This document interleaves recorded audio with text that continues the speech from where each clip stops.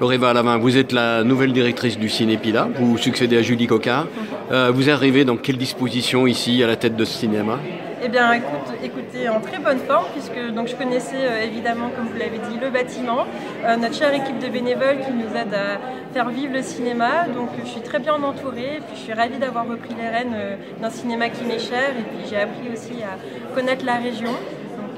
Je pense bien m'épanouir ici euh, au Cinépila. Quand on regarde les panneaux qui sont derrière vous, on voit qu'il y a plein de séances particulières qui sont programmées. Comment est-ce que vous faites? Quelle est votre volonté de travailler avec le tissu local ou plus largement? Eh ben, Vous l'avez évoqué, c'est travailler avec le tissu local, euh, développer de plus en plus de partenariats, les rendre pérennes, voire systématiques. Et comme vous le voyez derrière moi, voilà, beaucoup de ciné-échanges qui ciblent des publics particuliers. Euh, donc c'est un travail euh, qui nous permet de nous rapprocher du public puis de répondre aussi à une demande sur, euh, de programmation. Parce qu'on aborde des termes très divers, parce qu'on va voir, et au nom de la Terre, on va parler de la situation des agriculteurs, avec des syndicats d'agriculteurs. Ensuite, on va parler des gilets jaunes. Qu'est-ce qui fait que vous choisissez? C'est la demande qui vous parvient ou vous allez à la pêche un petit peu? C'est toujours dans, cette, dans ce souci de proposer une diversité cinématographique.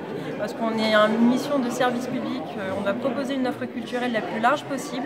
Donc cibler autant les tout petits avec notre festival jeune public Des Mômes qui commence très bientôt, autant les personnes impliquées euh, politiquement. Donc voilà, vous l'avez évoqué euh, autour de Graines de Rond-Point, le film de Jean-Paul Julien.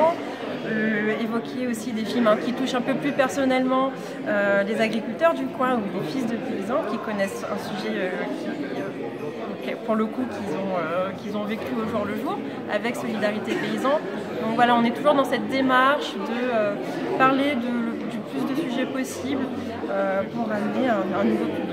Et puis dans quelques jours, ça sera euh, la foire du Pila, ici écologique. Et donc on abordera aussi la question de la préservation de la planète. Tout à fait, avec deux films programmés, donc Permaculture, La voie de l'autonomie, et un film jeune public, euh, Bonjour le monde, un, film magnifique hein, que je conseille à tout le monde, qui est entièrement réalisé à partir de pages de livres de la Pléiade.